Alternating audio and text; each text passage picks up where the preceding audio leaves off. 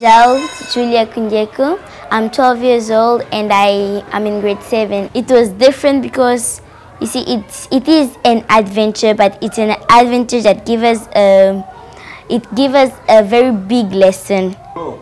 And do you have a favorite chapter in the book that you like most? No I don't because I liked all the chapters. And do you think the book should be published? Yes, I think it should be published because not it's not only for children but for grown-ups also. It also gives lesson to everyone. Every chapter, every chapter I read, it made me want to read another chapter. My name is Antonio Sokludra. I'm in grade 7R and I'm 13 years old. And did, did the book lose your attention at any point? Mm, no, it was just fantastic. How, how would you compare this book to other books you have read? Of all the other books that I've read, I think this one is the best. Do you think this will make a nice movie, the story? Yo, yeah.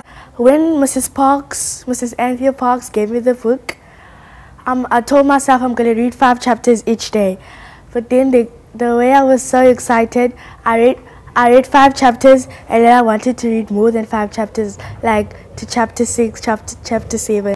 Simply amazing. All the challenges that our learners face and choices that they make, have to make every day, and what I bring forward in my lessons to them as a librarian is crammed into one book. Endless courage and honesty. I can go on all day if I have to.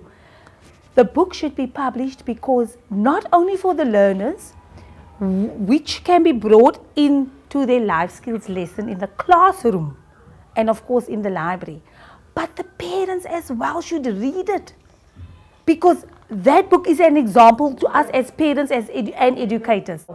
The book is brought out, it's portrayed in the characters for the learners to learn and to stay on the right track.